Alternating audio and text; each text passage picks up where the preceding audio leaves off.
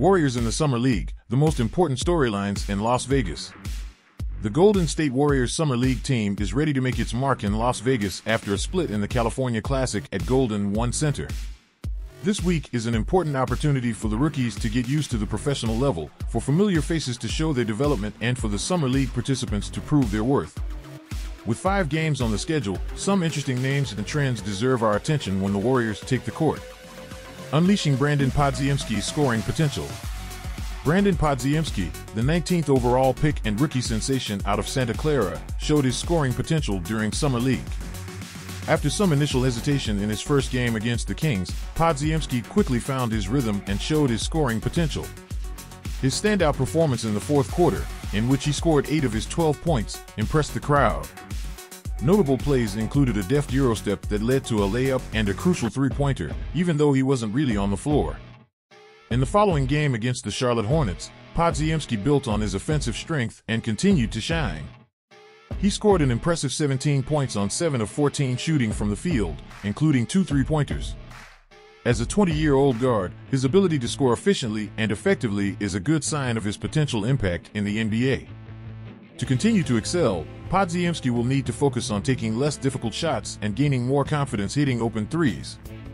His rebounding skills, which were outstanding during his college career with the Broncos, could also prove valuable at the professional level.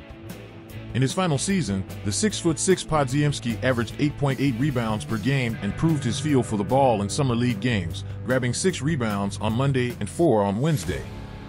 In addition to his scoring and rebounding abilities, Podziemski has also shown off his passing skills, especially in pick-and-roll situations. While he recorded six assists in the first game, he only managed one in the second.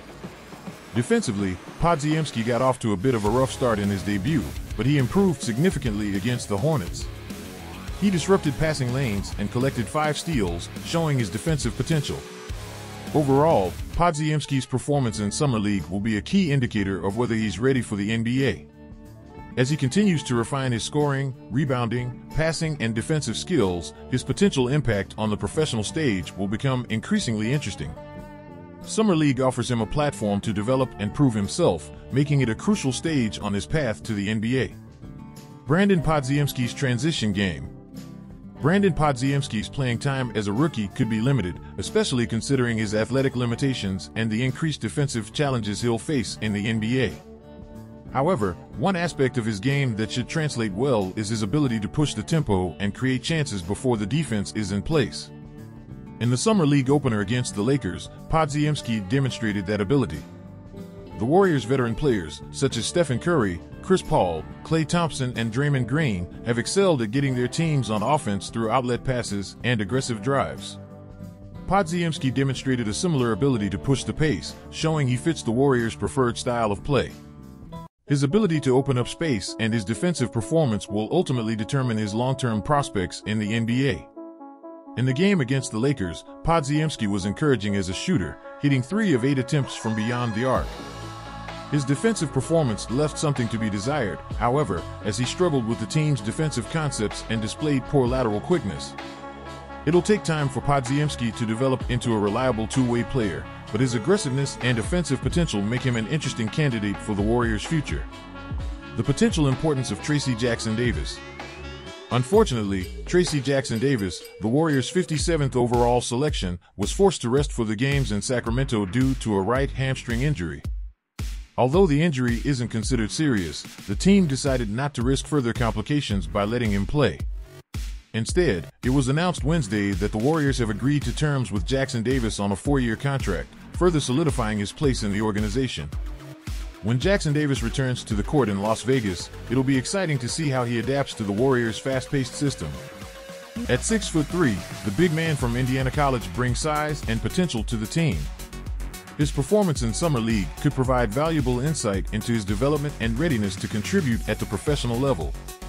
The two-way potential of Kendrick Davis and Javan Johnson. Kendrick Davis and Javan Johnson, who both received Exhibit 10 contracts and training camp invitations, are two players to keep an eye on during Summer League.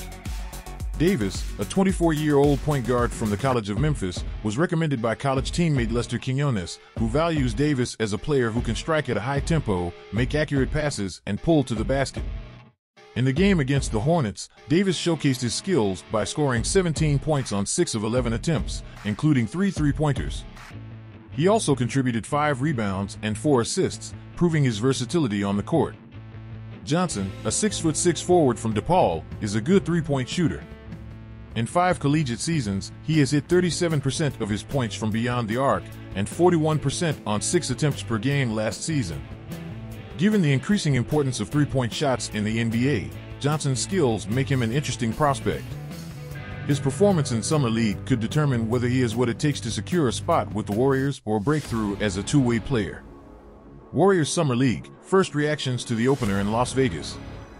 The Golden State Warriors began their Summer League campaign in Las Vegas with a 103-96 loss to the Los Angeles Lakers.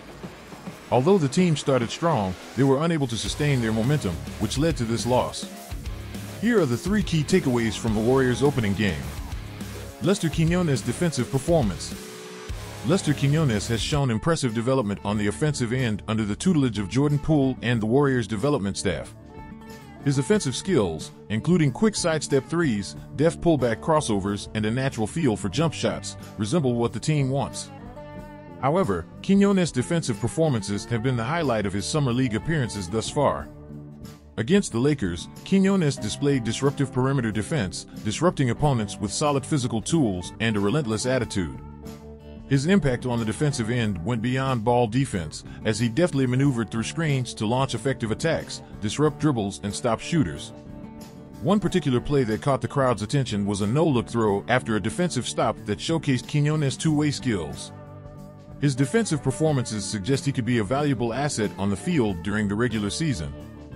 Quinones' commitment on the defensive end combined with his offensive potential could bode well for him receiving a standard contract and securing a spot on the Warriors squad. Jonathan Santos, a second-year forward, still has a long way to go in his development before he can be considered for a spot on the Warriors squad. However, his offensive skills are promising, especially his ability to aggressively attack the basket. Santos has shown strength, patience, and finesse when pulling to the basket, often overpowering unsuspecting defenders with his strong build.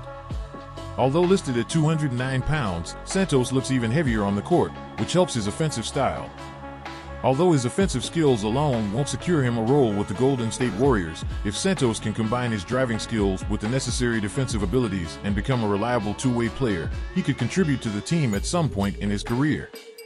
In conclusion, the Golden State Warriors Summer League in Las Vegas provides an exciting opportunity for rookies, familiar faces, and invited players to showcase their skills and make an impact. Brandon Podziemski's scoring threat, Trayce Jackson Davis' potential impact, and the performances of Kendrick Davis, Javan Johnson, Lester Quinones, and Jonathan Santos are all stories worth following during Summer League games. These players have a chance to prove their worth and demonstrate their development as they try to secure a spot on the Warriors squad or breakthrough as two-way players. Summer League is an important stepping stone for these young talents on their path to the NBA. The Summer League is an important stepping stone for these young talents on their way to the NBA. If you're a die-hard Golden State Warriors fan like I'm, there's always something to talk about when it comes to this team. Be sure to visit the community page of our channel, where you'll find various quizzes and polls about the Golden State Warriors to test your knowledge. Also, check out our other videos on different aspects of the team.